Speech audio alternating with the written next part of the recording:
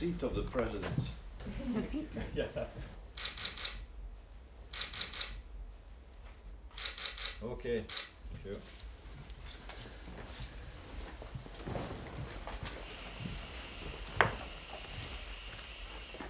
So thank you so much for seeing us. Yes, thank you.